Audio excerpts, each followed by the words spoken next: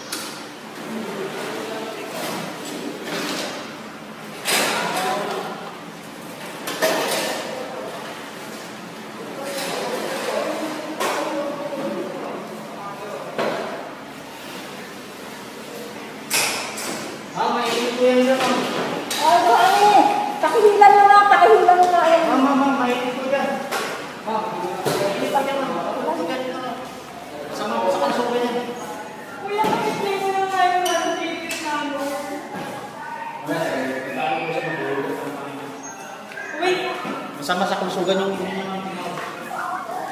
Huwag nang bubuksan yan.